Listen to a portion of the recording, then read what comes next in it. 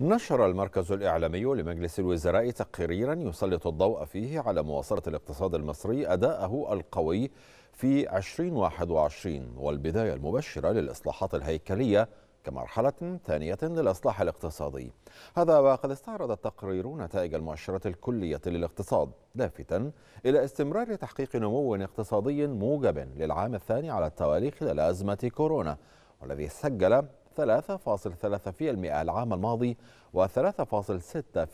في العام المالي 2019-2020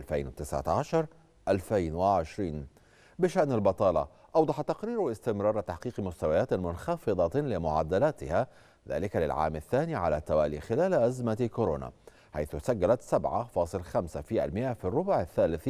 لعام 2021